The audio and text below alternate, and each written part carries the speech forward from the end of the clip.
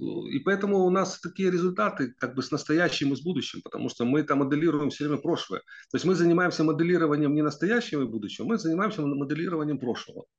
А моделирование прошлого, оно ничего не меняет. Это просто симулятор, виртуальная реальность, которую мы постоянно пытаемся переосмыслить и перезагрузить, переформатировать. Теперь возвращаясь к твоему абсолютно, я бы сказал, к такому вопросу в десятку э, по поводу, э, почему мы, у нас не говорят об эффективной модели развития, а потому что ее нет. Э, это первое. Второе, есть, скажем так, ее нет. Второе, отсутствуют политические элиты, которые могут эту модель сформулировать.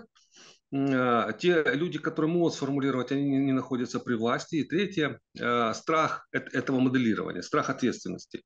Легче всего заниматься ковырянием в прошлом, Э, там а, а, очередной институт памяти как бы создать, а, чем моделировать будущее.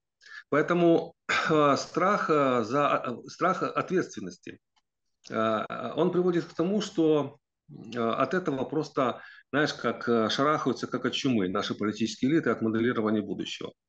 Ну и кроме того, как я уже сказал, неспособность их на, на эти действия. Ну, в этом плане всегда, знаешь, у нас там Э, Финляндию любят вспоминать, финский сценарий. А я в этом плане все время вспоминаю Кипр. Вот Кипр у меня э, как бы очень детально когда-то изучал эту страну и общался очень много с киприотами, и общал, э, ну, изучал их менталитет и как бы вообще занимался, ну, как-то интересно, был, был период, когда мне интересно была эта страна, я детально изучал. В том Всем когда-то, Алексей, когда-то был Кипр интересен. Интересная страна, да. офш... офшорная зона. Все когда-то активно этим занимались. Мы понимаем. Спасибо большое, блин. продолжай. Ну, блин, ну что ты все время так можешь взять и да, бытовуху, да? Я хотел красиво подать, вот так, красивую подводку сделать. Ты, значит, все на бытовуху такую перевел. Ну, хорошо, продолжаем, значит, с этого периода.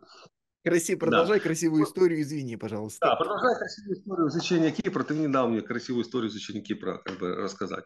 Ну, э, возвращаясь к Кипру, смотри, э, там вообще ситуация вот с, с нашей точки зрения, с нашего восприятия реальности, если, если в контексте нашего восприятия реальности, то там ситуация вообще катастрофическая.